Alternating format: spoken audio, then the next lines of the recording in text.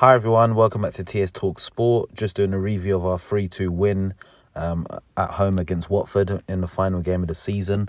Um, obviously, this um, result resulted in um, Watford being relegated to the Championship. Um, and, you know, it is what it is. You know, I know some Arsenal fans, like I said in my preview, would have, you know, wanted this sort of result to send Watford down following um, Deeney's, Cojones comments um, a few seasons back. And, you know, my opinion on it was is that some of the things he was saying was true. Um, but, you know, in life, not just in football, you know, the comments you make or the actions you do will at some point come back to haunt you. And, you know, it, it seems it's, it's haunting Deeney and that Watford side today as they've been relegated um, to the Championship. But on the game overall, um, in the end, it didn't turn out to be a, good performance. Bearing in mind, you know, we was 3 0 up after 33 minutes um, following two goals from Aubameyang, especially the second one from Aubameyang was, you know, top notch. Um, obviously, Tierney getting his first Arsenal goal also. Um, you know, just before half time, Deeney scored a penalty, and, you know, that was following a foul from David Luiz, and, you know, he set a record, um, you know, which is given away five penalties in one season.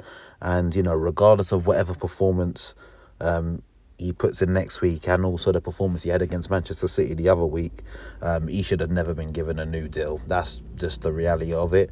Um, I know some people say, oh, yeah, he'll be good for another year. And, you know, if we play in the back three, but um, to me, it's quite evident Arteta doesn't want to play in the back three. And, you know, he's only done so for some games um, to kind of build up some sort of solidity. And obviously today we didn't really play with a back three either. Um, you know, in the second half, Watford were really up for it. And, you know, they came at us and, you know, Welbeck got a second and, you know, probably would have had a third um, if it weren't for Emi Martinez. And, you know, I have to say, in, in total, Watford had more shots on goal than us. Um, and, you know, it was just, again, down to either poor finishing or, you know, top quality stuff from Emi Martinez. Um, you know, we had an opportunity to to widen the lead further. You know, when Nketiah came off the bench, you know, he, you know what Nketiah does, you know, he presses from the front. And, you know, he got himself in on goal. And for me, he should have just taken the shot. But, you know, he tried to square it to Bamyang, but his pass over to Bamyang was pushing a bit too far out wide. And, you know, Bamyang wasn't able to convert it. Um, at the end of the day, I understand why he tried to do it. Obviously, Bamyang's chasing the golden boot. But at the same time, you know, just just take the shot on and score, in my opinion. And maybe Eddie was feeling a bit, you know, he was doubting himself. I remember I was, I believe it was last season, final game, you know, is when he got his first Premier League goal.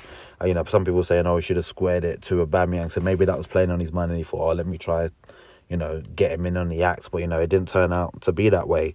Um, I have to say, from Watford's perspective, um, I thought that um, Doucouré looked decent. And, you know, for me, he, he's one of the players in that side that I'd be thinking, you know, I'd be if I was involved at Arsenal, I'd be saying I'd be querying how much it would be to bring him in. You know, I'm sure it's not going to be a ridiculous amount of money, and I'm sure it's something doable, and, and I believe he'd strengthen us in the midfield area. Um, another player that you know I've been keeping some tabs on. Um, he'd probably be a bit more expensive to bring in, but you know he looked a bit dangerous when he came on for Watford. Was um João Pedro, um, and yeah, it'd be interesting to see what Watford do um, next season. Um, obviously, I'm not a Watford fan, but you know, there's going to be a lot of players at that club which they're probably going to have to get rid of. You know, based on everything in terms of wages. But you know, they've got some good young um, prospects in that side. You know, some of them that don't really get much game time. Um, the likes of Domingos Quina come to mind for me as someone that's got you know um, decent potential. Um, João Pedro, as I said, so you know, it, it may be something where Watford are able to build themselves up a, a decent youthful side um, for next season in the championship and push for a, a, a, place to come straight back up. Hopefully that's the case for them. But you know, um, back to Arsenal. You know, meant that that result meant that we finished eighth, which was the highest that we could have finished today anyway. Um, you know, worst finish, and I believe it's 25 years. Um, you know, which isn't good at all. And like I mentioned in the preview, Arteta agreed to that, said it's it's not good whatsoever. You know, when you look at it, at the end of the day, we finished 43 points off of Liverpool um, who obviously won the league champions. Uh, Man City, we were 25 points off them. Um, you know, when you calculate that, 25 points off Man City is like eight wins and a draw. So, you know, it can, goes to show how bad we've been this season. Bearing in mind, Man City haven't been that great either. And, you know, it was 10 points off of Chelsea and Manchester United, you know, who took up um, the other two top four spots. So, you know, there's definitely a lot of work to be done um, in terms of bringing players in and out of the club um, this summer. You know, I will be doing um, videos on you know players I think you know should be moved on. Whether that's you know we need to sell them or you know players that need to go out on loan, and I'll also be doing videos in terms of players that I think you know um, we need to either bring into the side. Some players that you know currently playing in the under twenty threes, who I think need to feature in the first team a bit more next season. But you know. Um, we move on now to the FA Cup final. Hopefully, we can get the result in that, and you know, end the season with some form of um, silverware.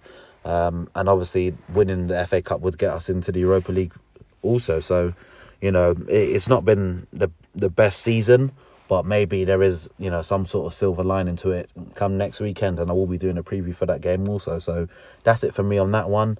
Um, if you haven't already done so, go hit that subscribe button now, and I'll catch you next time.